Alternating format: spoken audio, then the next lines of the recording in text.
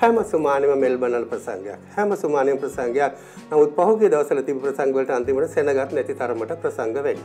88 89 භීෂණ සමය තමයි මුලින්ම හිතුවේ මේ ඇති මේ බේදනාව මේ පීඩනය දරාගන්නට අමාරුයි මේකෙන් පිටත් වෙලා යන්නට ඕනේ කියන හැඟීම තිබුණා. මේක ව්‍යාපාරික මට්ටමට යනවා. කීප දෙනෙක් එකතු වෙලා මුදල් ඉපීමේ මාර්ගයක් හැටියට මේක යොදා ගන්නවා. මම හැමදාම කියන දෙයක් තමයි කොළඹ සිදුවෙන දෙයක් මගේ ගම වෙච්ච නුගේගොඩට දැනෙන්නට කලින් මම මෙල්බර්න් වලදී දැනගන්නවා කියන එක. ඔය සමන්හව ප්‍රශ්නේ මම හිතන්නේ ප්‍රසිද්ධිය කවුරුවත් මගෙන් අහලා නැහැ මේ වගේ වැඩසටහනකදී. ඒ නිසා මමත් අවංකවම උත්තරයක් දෙන්නට කැමතියි.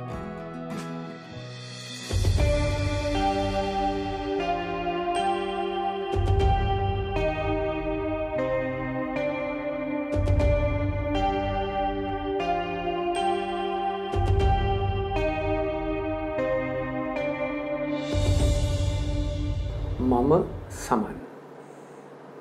දැන් ඔබ කල්පනා කරනවා ඇති වෙනදා අපි මෙවැනි සාකච්ඡාවක් ආරම්භ කරන්නේ. අපේ සාකච්ඡාවට සහභාගී වෙන අමුත්තගේ නම කියලා.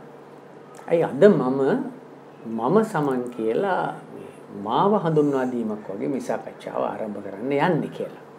හැබැයි මම මේ කලේ මාව හඳුන්වා දීමක් නෙවෙයි. මම සමන් නම් කෘතිය නිර්මාණය කළ නිර්මාණ වේදියා තමයි අද අප සමග මේ සාකච්ඡාවට එක් වෙන්නේ. ඔහු ජගත් ජේ ඉදිරිසිංහ. අයිබෝන් ජගත් අයිබෝන් සමන් ජගත් දැන් ඔබ වාසය කරන්න ඔස්ට්‍රේලියාවේ මෙල්බර්න් නුවර කෙටි නිමාඩු කාලයකට ලංකාවට ආපු වෙලාවක ජගත් අපේ නාලිකාවට කැන්දාගෙන එන්න අපට අවකාශය ලැබුණා. ජගත් ඇයි ඔබ මේ මෙවර ලංකාවට මේ සුවිශේෂ නිමිත්තක් තිබුණද නැත්නම් ඔබ නිකම්ම නිකන් නිවාඩුවක් සඳහා පමණක්ම ආවද? මෙහෙමයි සමන් පහුගිය අවුරුදු 3ක සාමාන්‍යයෙන් මම අවුරුද්දකට සැරයක් ලංකාවට එන්න පුරුදු වෙලා හිටියා. පහුගිය අවුරුදු 3 ඇතුලේ මේ කොවිඩ් ප්‍රශ්නේ නිසා මට එන්නට බැරි වුණා ලංකාවට. ඒ නිසා අවුරුදු 3ක් ගත වෙනකොට අර නෑවිත්ම බැරි තරම් ඒ හැඟීම තද බලවත් වුණා. ඒ නිසා කොහොම හරි එන්නට ඕනේ කියන හැඟීම තිබුණා. ඒ නිසා තමයි ආවේ. නමුත් අය ආව අතරේ මට පුළුවන් වුණා මගේ සාහිත්‍ය කටයුතු වලට සම්බන්ධ ක්‍රියාකාරකම් කීපයකම නිරත වෙන්නට. ඉතින් ඇත්තටම ඒ නිසාම ආව නෙමෙයි අරම පුරුද්දක් වශයෙන් හැම අවුරුද්දකටම ලංකාවට එන නිසා ආවා. දැන් ඒ ආපු ගමනෙන් තවත් කාර්යයක් කරගත්තා. තවත් කාර්යයක් කෙරුණා. අපිට ඒ කාර්යය ගැනත් කතා කරොත් මම හිතන්නේ හොඳ තැනක් අපේ සාකච්ඡාව පටන් ගන්න. ඔව් සමන් මම මේට අවුරුදු ගණනාවකට ඉස්සෙල්ලා අවුරුදු 7-8කට විතර ඉස්සෙල්ලා ඉස්කෝලේ කාලේ කියලා යෝන් කෘතියක් ලිව්වා. මේ ඉස්කෝලේ කාලේ කෘතිය ගොඩගේ ප්‍රකාශනයක් හැටියට තමයි එලි දැක්ුණේ. කිසි කෙනෙකුගේ අවධානයට ලක්ුණේ නැහැ ඒ පොත මට දැනෙච්ච හැටියට. නමුත් අභාවප්‍රාප්ත ඩීබී කුරුප්පු මහත්මයා වගේ අය මේ පොත කියවලා මාව විශේෂයෙන් උනන්දු කළා ජගත් මේක දිගටම ලියන්න මේ සීරීස් එක. මොකද ඒ ඔහු එහි යම්කිසි විශේෂත්වයක් දැක්කා. ඒ නිසා ඔහු මිය යන තෙක්ම මට කිව්ව දෙයක් තමයි මේක දෙවැනි කොටසක් ලියන්න දිගටම ලියන්න මේක කියලා. ඒ අනුව තමයි මම ඒ මල ඉස්කෝලේ කාලේ පොතේ දිගුවක් ලෙසම නෙමෙයි. නමුත් ඒ චරිත පාදක කරගනිමින් මම සමන් කියන පොත ලියන්නේ අද සමන් එක කතා කරනකොට මම මම සමන් මගේ ඉස්සරහා තියෙන මම සමන්ට කැමතියි පොත බාර දෙන්නට. සමන් එක්ක මම සමන් ගැන කතා කරනකොට සමන් එකක් හේතුවක් තිබුණා මම එක කාලයක් මේ බොහෝ දුරට මේ ටීන් ෆික්ෂන්ස් කියන බටහිර සාහිත්‍යයේ ටීන් ෆික්ෂන්ස් ගොඩක් කියවන්නට පුරුදු වෙලා හිටියා. මේ ටීන් ෆික්ෂන්ස් කියවදි තමයි ඇත්තටම පළමුවෙන්ම මට හිතුනේ ඒවයි බොහෝ විට සමන් මුල මැද අග තියෙන කතාවක් නෙමෙයි තියෙන්නේ සිද්ධිදාමයක්. එක් දරුවෙක් හෝ යම්කිසි චරිතයක් වටා ගොඩ නැගෙන සිද්ධිදාමයක් බොහෝ විට තියෙන්නේ. ඉතින් මටත් හිතුණා ඇත්තටම අපට තියෙනව නේද මේ වගේ අත්දැකීම් අපිට අපේ දරුවන්ට අපේ අපේ සහෝදරයන්ට අපේ යාළු මිත්‍රයන්ට ලංකාවේ ඇතුලේ මේ වගේ අත්දැකීම් තියෙනවා. ඇයි අපට මේව රසවත් කරලා ලියන්නට බැරි කියන අදහස මට ආවා. ඒ අනුව තමයි මම මුලින්ම ඉස්කෝලේ කාලෙත් ඊට පස්සේ මම සමන් කියන පොතත් ලිව්වේ. මේවායේ තියෙන්නේ මගේ අත්දැකීම නෙමෙයි. නමුත් අපේ සමාජයේ අපිට අහන්නට දකින්නට ලැබුණු අපේ හිතවතුන්ගේ අත්දැකීම් නැත්නම් අපේ සමාජයේ අත්දැකීම් ඒවා තමයි මම උකහාගෙන නිර්මාණාත්මක ලෙස ලියන්නට උත්සාහ කළේ. ඉතින් මම සමන් මේ දෙවැනි කෘතිය අපි 19 වෙනිදා එක ජනගත කළා වාරිය පොළදී. ඒක තමයි පළවෙනි කාර්යය මම සමන් දැනගත කිරීම. අනෙක් කාරණය සමන් ඒක තමයි මම වැදගත් කොට හුඟක් වැදගත් කොට සලකන දෙයක්. අභාවප්‍රාප්ත ප්‍රවීණ ලේඛක ඩී.බී. කුරුප්පු මහතා ළඟින් ඇසුරු කරන්නට අපිට වාසනාව ලැබුණා මම ලංකෝස්ට්‍රේලියාවේ පුවත්පත් කරන නිසා ඔහු සමග ළඟ ඇසුරක් පවත්වන්නට හැකි වුණා. ඔහුට ලොකු ඕනෑකමක් තිබ්බා මේ සාහිත්‍යමය වශයෙන් යම් යම් දේවල් කරන්න ක්‍රියාකාරකම්. අපි ඔහුත් සමග එකතු වෙලා මුලින්ම පහන පුවත්පත කරන කාලේ සාහිත්‍ය තරගයක් පවත්වලා ජයග්‍රාහකයන්ට තෑගි ප්‍රදානය කළා. ඊට පස්සේ සානස පුවත්පත කරන කාලෙත් අපි කෙටි කතා තරගයක් පවත්වලා ජයග්‍රාහකයන්ට තෑගි ප්‍රදා දීලා ඊළඟට අපි ඒ වෙනුවෙන් පොතකුත් නිකුත් කළා. අන්තිම තෑග කියලා. ඔහු අභාප්‍රාප්ත වුණාට පස්සෙත් අපේ හිතේ තිබුණා මේ ඔහුගේ ආශාව දිගටම ගෙනියන්නට ඕනේ කියන කාරණයක්.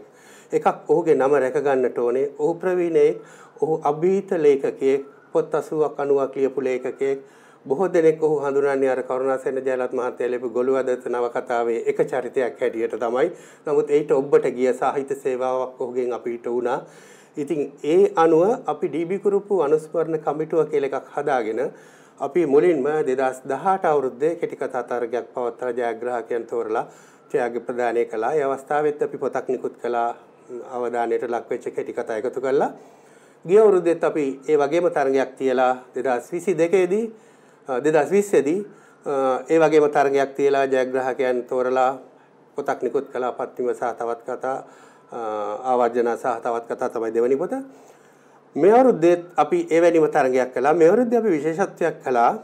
අපිට හිතුණා සිංහල කෙටි කතාව පිළිබඳ තිබෙන අවධානය මේ තරගයේ පවත්වීමේ මූලික අරමුණ ඒකයි සමන්. සිංහල කෙටි කතාව කෙරෙහි ලියන අයගේ අවධානයත් කියවන අයගේ අවධානයත් යොමු කර ගැනීම.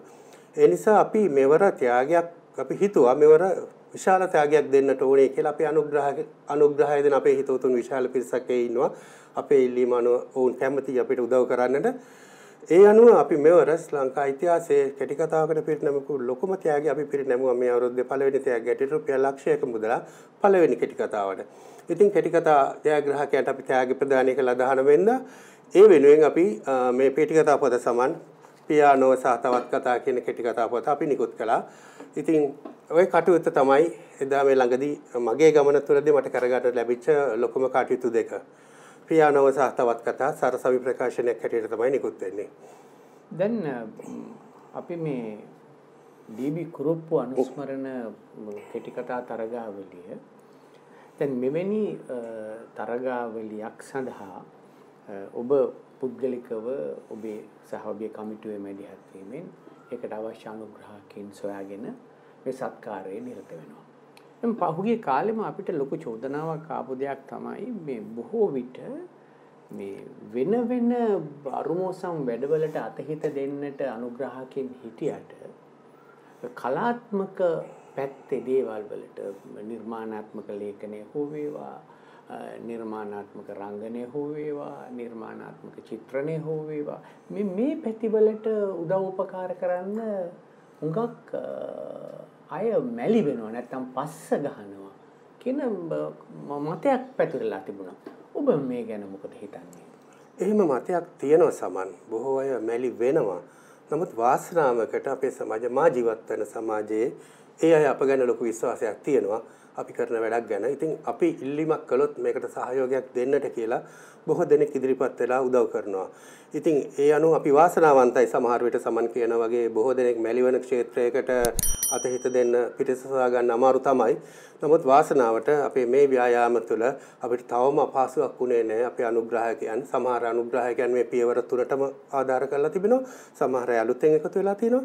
ඒ සියලු දෙනාම කිසිම පැකිලීමකින් තොරව මේ කාර්යයට අතහිත දෙනවා. කාරණා දෙකක් නිසා සමන් එකක් පළවෙනි කාරණය ඩීබී කුරුපු මහත්මයා අවුරුදු 30ක් පමණ කාලයක් ඕස්ට්‍රේලියාවේ ජීවත් වුණා. ඒ නිසා ඔහු කෙරෙහි ගෞරවයක් තියෙනවා මේ සමාජය තුළ. ඔහුට කරන ගෞරවයක් හැටියටත් අනික අතින් අපි මේ කරන ව්‍යායාමයට අතහිත දෙන්නට ඕනෑ කියලා ඔවුන්ගේ හිතේ තියෙන හැඟීම නිසාත් අපේ අනුග්‍රහකයන් අපට අතහිත දෙනවා. ඉතින් අපිට හරි පහසුවක් ඒක, අපට හරි සතුටක් ඒක. අපේ අනුග්‍රහකයන් පසුබට නොවි අපට අනුග්‍රහය දැක්වීම. ජගත් ඔබ ඔස්ට්‍රේලියාවට ගිහිල්ලා දැන් සෑහෙන කාලයක්. මම හිතන්නේ අපි ඒ ගැනත් කතා කරන්න ඕන. මොකද ජගත් කියන නම මට හරිම හුරු පුරුදු නමක් දැන් මේ අද මේ තමයි මටත් ඒක සිහිපත් කරගන්නට පුළුවන් වුණේ අප කුඩා කාලේ ගුවන්විදුලියේ කනිටු සරසවිය වැනි වැඩසටහන් ඉදිරිපත් කරන කාලේ ජගත් ඒ වැඩසටහන් වලට මේ පිටපත් රචකයෙක් වශයෙන් විවිධාකාර ලිපි ලේඛන නාට්‍ය නිර්මාණය කළා. දැන් එතනින් ඔබ පටන් ගත්ත මේ ගමන අතරමැදදී ඔබ ලංකාව හැරපියා යන තත්වයකට පත් වෙනවා. ඔබ ඒ ගමන දිගටම පත්තරවලට ලිව්වා. ඒ ඒ නිර්මාණ කලාවේ නිරත වුණා. හිටි ගමන් ඔබ ඕස්ට්‍රේලියාව බලා යනවා නිත්‍ය පදිංචිය සඳහා. ඇයි මෙහෙම යන්න හේතු වුනේ? ඔව් සමන්. ඔය සමන් අහපු ප්‍රශ්නේ මම හිතන්නේ ප්‍රසිද්ධිය කවුරුවත් මගෙන් අහලා නැහැ මේ වගේ වැඩසටහනකදී. ඒ නිසා මමත් අවංකවම උත්තරයක් දෙන්නට කැමතියි. ඔස්ට්‍රේලියාව බලා ගිය සමන් ඉසුරු සොයාගෙන ගිය ගමනක් නෙමෙයි. ජීවිතේ බේර ගන්නට ගිය ගමනක්.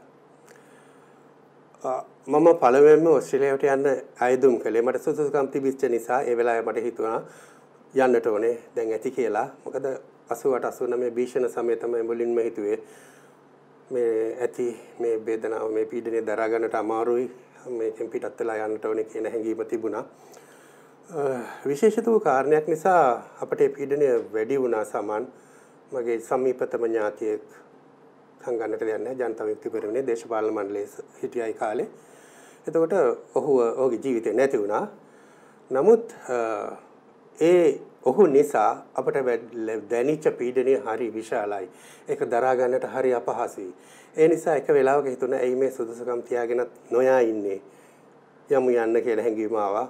ඒ අනුව තමයි ඉති ආයුධම් කළා අර දිග පොලිම ඔබට මතක ඇති ඒක යෝගකේ ඕස්ට්‍රේලියානු මහ කොමරිස්කාරිස් කාර්ය ඉස්සරහා මහා දිග පොලිම තිබ්බේ අන්නේ යෝගේ මාතේ පොලිමේ හිටියා ඉඳලා ආයුධම් කළා ඕස්ට්‍රේලියාවට ගියා දැන් ගොඩක් කල් දැන් ඒ මොන අවුරුද්දද ඔබ ඕස්ට්‍රේලියාවට ඔව් ඕස්ට්‍රේලියාවට සංක්‍රමණය වුණේ සමන 1997 දී 97 දී දැන් එහි ගිහිල්ලා කොහොමද මේ ඔබ ස්ථාවර වුණේ ඔව් මම ලංකාවේදී මම සේවකදී මාර්ග සංවර්ධන අධිකාරියේ යාන්ත්‍රික ඉංජිනේරුවරයෙක් වශයෙන් එතකොට මම ඕස්ට්‍රේලියාවට ගිහිල්ලා දවස් 3ක් ඇතුළත මට ඕස්ට්‍රේලියානු ඉංජිනේරු ආයතනයේ සමාජිකත්වය ලැබුණා. ඔවුන් මට වරලක් ඉංජිනේරු තත්ත්වයක් ලබා දුන්න දවස් 3ක් ඇතුළත. ඒ සුදුසුකම් සැපරුණා. ඒ නමුත් සමන් මට හරියක් ඒ ඒ යුගයේ මා ගිය යුගයේ හරිම බොහොම රැකියාව සම්බන්ධයෙන් ඉතා අපහසු යුගයක්. මට රැකියාව අතින් ස්ථාර වෙන්න හරි අපහසු වුණා. මම මුලින්ම ඔස්ට්‍රේලියාවේ තැස්මේනියානු ප්‍රාන්තයට ගියේ. මම එහි මාස 3ක් පමණ කාලයක් හිටියා. ඉඳලා ඊට පස්සේ මම මෙල්බන් නුවර නුවරට ආවා. ඒ කාලය තුල මට විවිධ රැකියා කරන්නට සිදු වුණා. ඉතින් ඒ අංශයෙන් ස්ථාරුනේ. නමුත් මට එක දෙයක් ලැබුණ සමන් මේ මොහොතේ මට විවේකයක් ලැබුණා. මට ලියන්නට ආය අවස්ථාව ලැබුණා. මම ලියන්න නැතුව අවුරුදු 10ක් විතර ඉඳලා එක පාට මට නිදහසක් ආව ලියන්නට. ඒ නිසා මම නැවත ලියන්නට ගත්තා. ඒ තමයි දෙවන ආරම්භම මම ලග්න පුවත්පතටත් රාවය පුවත්පතටත් නොකඩවා ලියන්න පටන් ගත්තේ ඒ යුගයේ තමයි. ඉතින් ඒක එක අතකින් ආශිර්වාදයක් වුණා මගේ ලේඛන කටයුතු වලට. අනික් අතින් ඕස්ට්‍රේලියාවට ගිහිලා අවුරුද්දක් දෙකක් යනකොට මට ඕස්ට්‍රේලියාවේ සෙරෙන්ඩිබ් නිවුස් කියන ඉංග්‍රීසි පුවත්පතෙන් ආරාධනාවක් තිබුණා සිංහල පිටු ටික කරලා දෙන්න කියලා. ඒ නිසා මම ඕස්ට්‍රේලියාවේ සෙරෙන්ඩිබ් නිවුස් පුවත්පතේ සිංහල පිටු සංස්කාරකවරයා වශයෙන් උන්ට එකතු වුණා. ඒ සිංහල පිටු අපි අවුරුදු එකමාරක් එකක් එකමාරක් විතර කරගෙන යනකොට අපට තේරුණ සමන් ඉංග්‍රීසි පුවත්පතක් ඇතුලේ සිංහල පිටු තුල සිර වෙලා ඉන්නවට වඩා සිංහල පුවත්පතක් කරන එක හොඳයි කියලා. ඒ නිසා අපි 2000 දී පමණ පහන පුවත්පත ආරම්භ කරනවා මමත් වර්ණසාවෙන්දත් තවත් හිතවතුන් කීප දෙනෙක්ම එකතු වෙලා පහන පුවත්පත ආරම්භ කරනවා. පහනෙන් පස්සේ මම සපහන අවුරුදු එකමාරක් විතර පහන සමග රැඳී ඉන්නවා. ඉන් පස්සේ අපි සන්නස නමින් පුවත්පතක් ආරම්භ කරනවා. සන්නස පුවත්පතේ සංස්කාරකවරයා වශයෙන් මම අවුරුදු 13ක් 14ක පමණ කාලයක් හිටියා. මේ මෑතක් වන තෙක්ම. ඉතින් එයින් පස්සේ මට අර ඔබ කිව්වේ අර ස්ථාවර වීම පිළිබඳ ප්‍රශ්නයට මම මේ කතා කරගෙන ගියේ. අර ඒ ලැබිච්ච ඉඩකඩ මට තිබුණා 2006 දී පමණ ඕස්ට්‍රේලියාවේ ත්‍රිටිපල් සෙට් ගුවන්විදුලියට සම්බන්ධ වෙන්නට අදත් මම ඒ ගුවන්විදුලියට සම්බන්ධ වෙලා ඉන්නවා. එහි වැඩ කටයුතු කරනවා. අදත් මම ශනිදා සාදේ නමින් සෙන්සුරාදා උදෑසන වැඩසටහනක් කරනවා. දැන් අවුරුදු 8ක් විතර තිස්සේ වැඩසටහන කරනවා. ශනිදා සාදේ ජනප්‍රිය වැඩසටහනක්. ඕස්ට්‍රේලියාවේ සමස්ත ඕස්ට්‍රේලියාවේ හොඳම ගුවන්විදුලි ජනවාර්ගික ගුවන්විදුලි වැඩසටහන අතර අපි අන්තිම වැඩසටහන තුන අතරට තේරුණා අවුරුදු දෙකක් ඒ අවුරුදු දෙකේදී විතරයි අපි ඒ තරගයට ඉදිරිපත් වුණේ. ඉදිරිපත් වෙච්ච අවුරුදු දෙකේදීම අපි අවසාන වැඩසටහන් තුන හතරට තේරුණ සමන් ජනවාරි ඔබ දන්නවා ජනවාරි ගුවන්විදුලි වැඩසටහන් දහස් ගණනක් තියෙනවා ඕස්ට්‍රේලියාවේ. ඒ සියල්ල අතරින් අවසාන වැඩසටහන් තුන හතරට එන්නට අපට වාසනාව ලැබුණා. ඉතින් ওই වැඩ කටයුතු කරන්නට මට ඉඩ ලැබුණේ අර මම අස්ථාවරව හිටපු නිසා. මට හරියාකාර රැකියාවක් මුළු යුගයේ නොතිබුණ නිසා නැත්තම් රැකියාවකට හිර වෙන්නේ නැතුව ඉන්නට ලැබුණ නිසා. දැන් జగත් ඔබ මේ ඔබේ විවේකයත් ඵල ප්‍රයෝජනයට අරගෙන ඊට කඩාන ඔබ විවිධ නිර්මාණකාරයන්නේ නිරත වෙනවා. ඔබ මේ පතපොත ලියනවා පුවත්පත් සඳහා සම්මාදම් වෙනවා. ඊට අමතරව ඔබ මේ මේ ගීත රචකයෙක් විදිහටත් ඔබේ ප්‍රතිභාව පළ කරලා තියෙනවා පසුගිය කාලාන්තරේ පුරා ඒ වගේම ඔබේ ගීත රචනා ඇතුළත් ඔබ විශේෂ ප්‍රසංගයක් සංවිධානය කෙරුණා ඕස්ට්‍රේලියාවේදී. දැන් මේ මේ සින්දු ලියන්න ඇයි පෙළඹුණේ? ඔව් සමන් අර ඔකේ මුල බොහොම දුරට යනවා. අර හුඟක් ලේඛකයන්ට තියෙනවා පටන් ගත්ත තැනක්. මම මෙන්න මේ කාලේ තමයි ලියන්නට ගත්තේ කියලා බොහෝ අය කියනවා. මම සසරසේ බින්දැද්දි ලිව්වා. මට පටන් ගත්ත ගැන තැන හිතන්න බැරි තරම්ම ඈත අතීතයට මම කරන්නේ ලියන එකම තමයි. මම මුලින්ම ගීතයක් ලිව්වේ සමන් පහේ පන්ති ඉන්නකොට කියලා මට හිතෙනවා. මොකද පහේ පන්ති ඉන්නකොට අපේ අලපවත හිටියා දරුවෙක්. ਉਹ හොඳට සින්දු කියනවා. ගුරුවරුන් පුරුද්දක් තිබුණා මේ දරුවා ලවා ගීත ගායනා කරන එක. ඔක දවසක් අපූර්ව සින්දුවක් කිව්වා. ඒ සින්දුව මගේ හිතට කොච්චර අල්ලලා ගියාද කිව්වනම් මං ගෙදර ඇවිල්ලා ඒ තාලයට වචන ලිව්වා. ඒක තමයි මුලින්ම ලිව්ව සින්දුව. ගීතය අර එම්.එස්. ප්‍රනන්දු මහත්මයා ගායනා කරන සීත සුළං අවට හමන්නේ කියන ගීතය. මම ඕකට මගේ වචන ලියලා මගේ ගීතයක් හැදුවා. ඊට පස්සේ වරින් වර විවිධ අවස්ථාවලදී ගීත ලිව්වා. ඊට පස්සේ ගැටවරවියට එනකොට අපි නුගේගොඩ සම නයිට්ස් කියලා සංගීත කණ්ඩායමකුත් හදාගත්තා. ඒකටත් ගීත ලිව්වා. නමුත් කවදාකවත් ඒවා ඉදිරියට ගෙනියන්නට, පටිගත කරන්නට තරම් දැනුමක්වත් හැකියාවක්වත් ඒ යුගයේ අපිට තිබුණේ නැහැ. අපි රැකියාව විරහිත තරුණයන් හැටියට අපිට හැකි ආකාරයෙන් අපි මේ සංගීත කණ්ඩායම අරගෙන ගියා. ඒ ගීත ලියු ගීතත් එහෙම තිබුණා. නමුත් ඕස්ට්‍රේලියාවට සංක්‍රමණය වුණාට පස්සේ රෝහණ කනවරත්න කියන අපේ හිතවතා දවසක් මා හමු වෙලා කිව්වා ඔහුගේ ප්‍රසංගයක් කරනවා ඒ වෙනුවෙන් ගීත සංගත තැටියක් නිකුත් කරනවා ඒ වෙනුවෙන් ගීතයක් ලියා දෙන්නට කියලා. ඇත්තට ඔහු මගෙන් ඉල්ලුවේ කවි පන්තියක් ලියා දෙන්නට කියලා. ඔහු ගායනා කරන්නට කැමති කවි පන්තියක් කියලා. ඒ අනුව තමයි පළමුවෙන්ම තුමුල කවුද සිරස පායන හිරුනුඹය කියලා ඔහුට ලිව්වේ. ඔහු ඒක තමයි මගේ පටිගත වෙච්ච පළවෙනි ගීතය. රෝහණ කරුණාරත්න තමයි ගායනා කළේ. එතනින් ඉඳන් වරින් වර ඕස්ට්‍රේලියාවේ බොහෝ අය මගෙන් ගීත ලියලා රීල් ගන්න පුරුද්දක් තිබුණා. මම පස්සෙන් ගිහලා කාටවත් ගීත ලියලා දීලා නැහැ කවදාකවත්. කවුරු හරි මගෙන් ඇහුවොත් ගීතයක් ලියලා දෙන්න කියලා කිව්වොත් මම ලියලා දෙන්න. එහෙම නැත්නම් මගේ අර ගොඩ ගාගත්ත ෆයිල් කරගත්ත ගීත ගබඩාවක් නැහැ සමන්. කවුරු හරි කිව්වොත් ගීතයක් ලියලා දෙන්න කියලා ඒ මොහොතේ මට හිතෙන හැඟීම මම ලියලා දෙනවා. ඒ අනුව වරින් වර වරින් වර ගීත 60ක් 70ක් ලියුණා. ඒ ගීත එච්චර එකතු වෙනකොට එක මොහොතක මට හිතුණා මම දැන් අවුරුදු 25ක් විතර ඕස්ට්‍රේලියාවේ ඉඳලා තියෙනවා. මෙච්චර ගීත ලියවිලා තියෙනවා. මේ ගීත නරකද ප්‍රසංගයක් හැටියට ඉදිරිපත් කළොත් කියලා. ඒ නිසා අපි ගිය අවුරුද්දේ නොවැම්බර් මාසේ 26 වෙනිදා జగත් මියසි යාමයේ කියලා ප්‍රසංගයක් සංවිධානය කළා. අපේ ගියවෙච්ච ගීත වලින් ගීත 21ක් පමණ තෝරාගෙන ඒ ගීත තමයි ගායනා කළේ. ඉතින් ඒ ප්‍රසංගය ඉතාම සාර්ථක ප්‍රසංගයක් හැටියට එලි දැක්වුණා. ඒ වෙනින් අපි සංගත තැටියකුත් නිකුත් කළා. ඒ කටයුත්ත තමයි ගෙවරුද්ද කළේ මියසියාමයේ ප්‍රසංගය.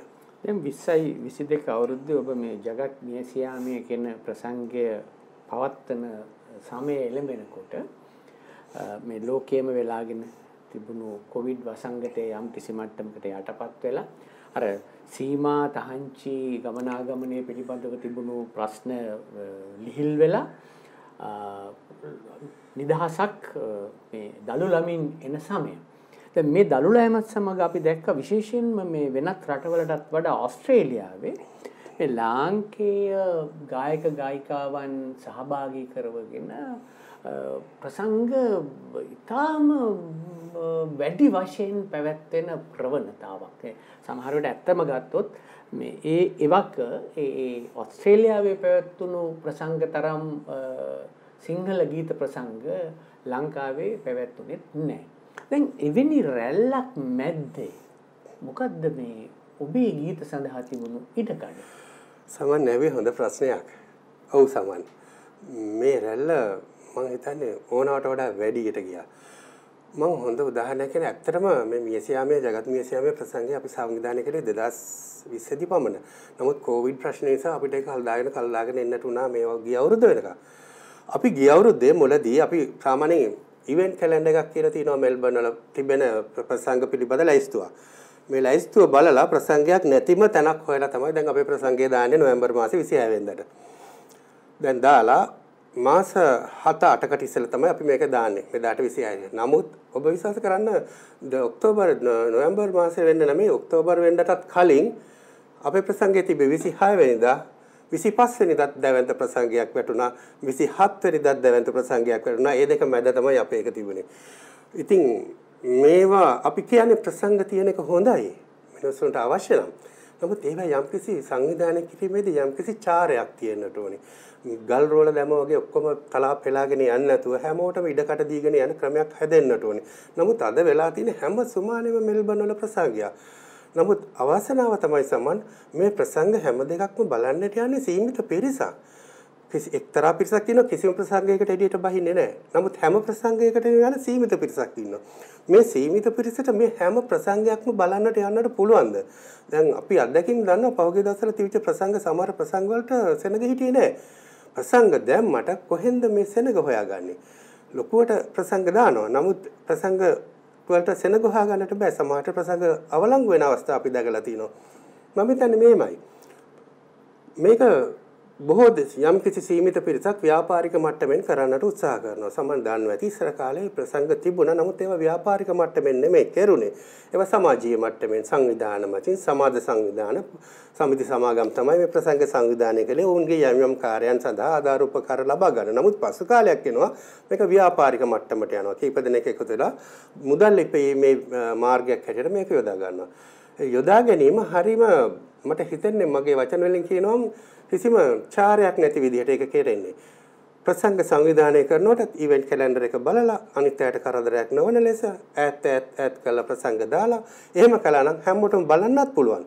කිසි කෙනෙකුට කරදරයක් වෙන්නේ නැහැ. අර සමිතියකට සමාගමකට ඉඳලා හිටලා දවසක ප්‍රසංගයක් කළා ඒ සමිතියට සමාගමට කීයක් හරි හොයාගන්නට තියෙන අවස්ථාවක් නැති වෙන්නේ නැහැ. අද වෙලා තියෙන ඔබ බැලුවොත් හැම සුමානෙම මෙල්බන් වල ප්‍රසංගයක්. හැම සුමානෙම ප්‍රසංගයක්. නමුත් පහුගිය දවස්වල තිබු ප්‍රසංග වලට අන්තිමට සෙනගත් නැති තරමට ප්‍රසංග වැඩි.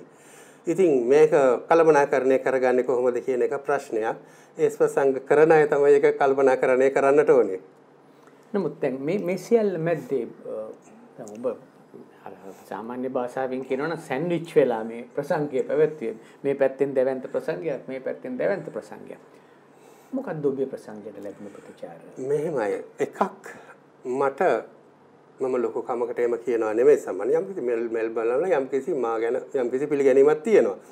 ඒ නිසා මා වෙනුවෙන් එන පිරිසක් එතන ඉන්නවා. මොන ප්‍රසංගයක් තිබ්බත් මගේ වැඩක් හින්දා එන පිරිසක් ඉන්නවා. ඒ නිසා මට පුළුවන් මගේ ප්‍රසංගය ගොඩ දා ගන්නට. නමුත් සාමාන්‍ය කෙනෙක් කළා නම් ඒ මොහොතේ ඒක කරන්නට බැරි තරම් තත්ත්වයක් කරගන්නට වෙන්නේ නැති වුණා. මගේ ප්‍රසංගයේදී මම සතුටුදායක වෙන තරමේ සෙනගක් ආවා. මගේ මම බලාපොරොත්තු වෙච්ච අපි බලාපොරොත්තු වෙච්ච පිරිසක් හිටියා මෙන්න මෙච්චර ප්‍රමාණයක් ලැබෙන්නට ඕනේ කියලා. ඊට වඩා පිරිසක් ආවා. ඉතින් ඒ නිසා ප්‍රසංගයක් වශයෙන් අපේ ප්‍රසංගය සාර්ථකයි. ඒ අපි ඒකෙන් සෑහීමකටපත් වෙලා ඉන්නවා. නමුත් වෙන කෙනෙක් කළා නම් සමහර විට බොහෝ අසාර්ථක වන්නට තිබුණා මේ අවස්ථාව. දැන් මේ සහභාගීත්වය සාර්ථකත්වයම නෙන එක මින්මත්. ඒ වගේම සහභාගිත්තුණු ප්‍රමාණය වැඩි වුණත් අඩු වුණත් ඔවුන්ගෙන් ලැබෙන ප්‍රතිචාර මේ ප්‍රසංගය පිළිබඳව අපිට තීන්දුවක් ගන්න පුළුවන් තව මින්මක්. ප්‍රතිචාර පැත්තෙන් මොන වගේ තත්ත්වයක් ඔව් සමන ඇත්තටම ප්‍රතිචාර පැත්තෙන් අපට විශාල ප්‍රතිචාර ලැබුණා විශේෂයෙන් අපි සැලසුම් කළේ નિયમિત ස්ථිර නිශ්චිත වේලාවකට පටන් ගන්න නිශ්චිත වේලාවකට ඉවර කරන ප්‍රසංගයක් කරන්නට ඕනේ කියලා. මොකද සමහර ප්‍රසංග බොහෝ මිනිසුන් වෙහෙසපත් කරන වෙන ආකාරයේ ප්‍රමාද වෙලා පටන් ගන්නවා. අපි මුලින් ඉඳලම කිව්වේ අපි පටන් ගන්නවා નિયમિત වේලාවට අපි નિયમિત වේලාවට ඉවර කරනවා. ඒ අනුව අපි ප්‍රසංගය નિયમિત වේලාවට පටන් අරන් નિયમિત වේලාවට අවසන් කළා. තරම් සමාන මේ ප්‍රසංගය සාර්ථක වීමේ ගෞරවය දෙන්නට ඕනේ බානුක මනෝරත්නට. ඔහු තමයි ප්‍රසංගය සම්පූර්ණයෙන් වේදිකාවේ පිටිපස්සේ ඉඳලා සැලසුම් කළේ. ඔහුගේ සැලසුම අනුවත් අපිට විශාල පිරිසක් සහයෝගය දුන්නා. ඒ අයගේ සහයෝගය නිසාත් ප්‍රසංගය සාර්ථක වුණා. මොකද ප්‍රසංගය සාර්ථක වුණා කියන එකට අපිට අපි කියනට වඩා අපිට ඒක දැනෙන්නේ ප්‍රේක්ෂකයන්ගේ ප්‍රතිචාර නිසා. ඉතින් බොහෝ ප්‍රතිචාර ලැබුණා. අපිට සන්තෝෂයි ගැන ප්‍රතිචාර ගැන. ඉතින් වැදගත්ම දේ මේක සාමූහික ප්‍රයත්නයක් සමන් බොහෝ 50ක පමණ පිරිසක් වේදිකාවෙන් පිටිපසින් ඉඳන් අපට සහයෝගය දුන්නා. ඒ සියලු දෙනාගේම උත්සාහය තමයි ඒ සාර්ථකත්වයට හේතුව. ජගත් ඔබේ දැන් නිර්මාණ ජීවිතයේ ඔබ කොහොමද මේ මෙතනින් ඉස්සරහට යද්දී සුවිශේෂ බලාපොරොත්තු තියෙනවද? එහෙම නැත්නම් මේ මේ මේ විදිහටම දැන් ඔබේ මේ අත්දැකීම් ඉඳලා හිටලා ලියන විදිහටමද ඉස්සරහට කරන්න බලාපොරොත්තු වෙන්නේ DB ගෲප් අනුස්මරණ කෙටි කතා තරගාවලිය ඔබට කොතරම් දුරක් ඉස්සරහට ගෙන යන්න පුළුවන් මේ කියලා හිතෙනවද? මේ වගේ දේවල් ගැන මොකක්ද ඔබට කියන්න පුළුවන්? ඔව් සමන් මෙහෙමයි. මම සැලසුම් සහගතව යම් කිසි දෙයක් කරපු කෙනෙක් නෙමෙයි. මම එදිනෙදා යම් යම් දේවල් කරමින් ඉන්නවා නොකඩවම වැඩ කරනවා. ඒක ඒක වෙනම වැඩ කිරීම මම නවත්තන්නේ නමුත් ඒ තුළ කිසිම සැලසුමක් නැහැ අද මේක හෙට මේක කියලා. මොකද මගේ ජීවිතේ පසුගිය කාලේ හැරිලා බලපුවම සිදුවෙච්ච හැම දෙයක්ම කිසිම සැලසුමක් නැතුව උනේ. මට මතකයි මගේ පිණි කියන නවකතාව දයාවංශ ජයකොඩි තරගයෙන් පළවෙනි ස්ථානය දිනාගත්තත් රාජාලිපියව පත කාව්‍ය සංග්‍රහය ගොඩගේ සාහිත්‍ය උඩේ අවසාන වටේට තේරුණත් අවසාන පොත් හතර ඇතුළු වුණත් මේ අලතු අතුල නගරය කියන මේ පොත රජස සම්මානයට නිර්දේශ වුණෙත් මේ සියල්ල තුළ මගේ කිසිම සැලසුමක් තිබුණ නෑ සමන්. මේ සියල්ල අහඹු ලෙස සිදුවෙච්ච දේවල්. මම ලියන්නෙත් මගේ කිසිම සැලසුමක් නෑ මම හෙට වෙනකොට මේ පොත ලියන්නට ඕනේ. මම ලියාගෙන යන පොත් ගණනාවක් තියෙනවා. නිර්මාණ ගණනාවක් තියෙනවා. ඒවා කවදාද ඉවර වෙන්නේ කොහොමද ඉවර වෙන්නේ කියන එක ගැන මගේ සැලසුමක් නැහැ. කවදා හරි ඉවර වෙයි. මං හයියෙන් ලියන කෙනෙක් නෙවෙයි බොහොම හැමෙන් ලියන්නේ. ඒ නිසා කොයි වෙලේ හරි ඉවර වේවි. මොකද මම ගොඩාක් වැඩ කටයුතු කරලා නිරත වෙමින් ඉන්න ගම තමයි මේ දේවල් කරන්නේ. නමුත් එක දෙයක් මම කැමතියි මේ DB කුරුප්පු සාහිත්‍ය තරඟය මට හැකිතරම් කාලයක් ඉදිරියට ගෙනියන්නට මට සහයෝගය දෙන අපේ හිතවතුන් විශාල පිරිසක් පිටිපස්සේ ඉන්නවා විශේෂයෙන් DB කුරුප්පු අනුස්මරණ කමිටුව හැටියට අපි පිටුවාගෙන තියෙන ගාමිණී පැලෑඳ විජිත දෙල්ගම සහ මම ඇතුළේ අපි පිරිස ඒ කණ්ඩායම සහ ඊට පිටිපස්සෙන් ඉඳලා මේකට අනුග්‍රහය දක්වන පිරිස නිසා අපිට මේ කෙටි කතා තරඟාවලිය කරගෙන යාමේ හැකියාවක් තියෙනවා ඉදිරියට. ඒ නිසා වසර දෙකකට වතාවක් මේ කෙටි කතා තරගය පවත්වන්නට අපි උත්සාහ කරන සමන් මම හිතන්නේ අපිට ඒක කරගෙන යන්නට පුළුවන් වෙයි සෑහෙන කාලයක්. ඒක තමයි මේ මොහොතේ හිතේ තියෙන එකම බලාපොරොත්තුව. ඊළඟ අවුරුද්ද නැත්නම් 2024 දී ඩීබී කුරුපු අනුස්මාන කෙටි කතා තරඟාවලියේ හතරවෙනි පියවර ආරම්භ කළා. ඒක අවසන් කිරීම. පිටරට වාසය කරන මේ ලාංකිකයන් සම්බන්ධයෙන් විවිධ කණ්ඩායම් විවිධ මත පළ කරනවා. සමහරවන්ට චෝදනා කරනවා මේ ලංකාව හැරපයා ගිහිල්ලා එහෙ ඉඳගෙන ලංකාව හදන්න හදනවා කියලා. ඔය ඔය ආකාරයේ විවිධ මති මතාන්තර විවිධ චෝදනා මේ ඒ විප්‍රවාසී ශ්‍රී ලාංකිකයන්ට හිමි වෙනවා. සමහර විට සමහර ජනවාර්ගයේ කණ්ඩායම් වලට චෝදනා කරනවා වුන් එහෙ ඉඳලා මේ ලංකාව විනාශ කරන්න හදනවා කියලා. සමහර චෝදනා කරනවා ලංකාව හදන්න හදනවා කියලා.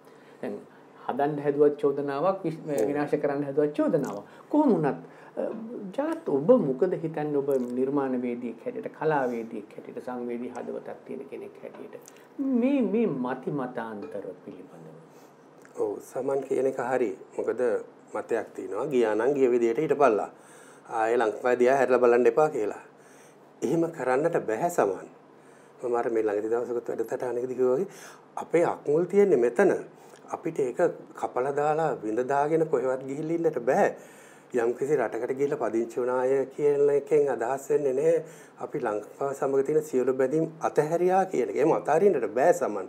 අපේ නෑදෑය මිත්‍රයන්, අපේ සහෝදර සහෝදරයන්, අපේ හිතවතුන්, අපේ ජීවිත තියෙන්නේ මෙතන.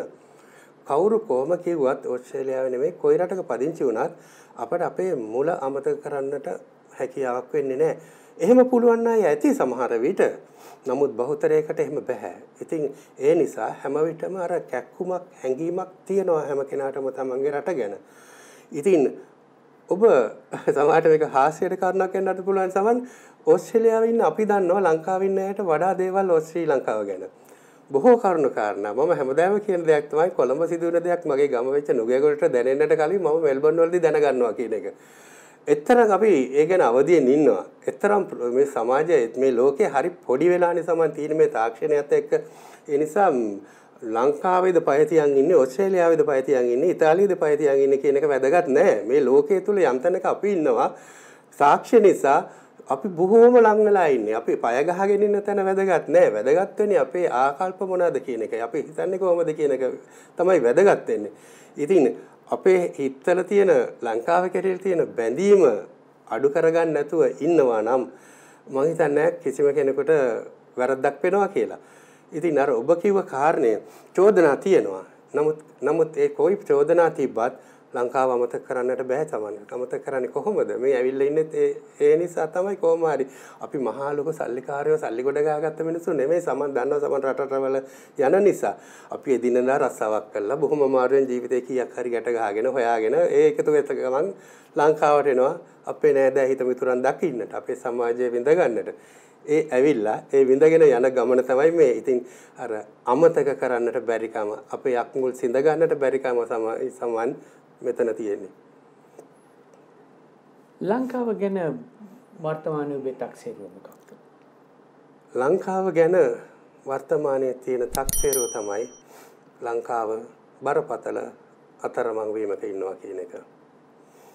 මගේ පුද්ගලික මතය මේ අතරමං වීමෙන් අපේ රට ගලව ගන්නට වර්තමාන මේ තියෙන දේශපාලනයට හැකියාවක් තියෙනවා කියන එක මම විශ්වාස කරන්නේ නැහැ. බොහොම සරලව කියවනම් හොරුන්ට බෑ රටක් හොරකමින් ගලව ගන්නට. ඒ නිසා මගේ කියමන සාහසික වැඩිද මන් දන්නේ. නමුත් ඒක තමයි මගේ පුද්ගලික හැඟීම. මේ රට ගලව ගන්නට නම් හොරකම් කරන්නේ නැති මිනිස්සු ටිකකට මේ රට ලැබෙන්නට ඕනේ. ඒ జగත් ජේ ඉදිරිසින් జగත්ගේ ඒ జగත්ම සාහසික දෝ කියලා සැක කරන ඒ කතාව ගැන හිතලා බලන්න කියලා මම ወበደ አራተናከረ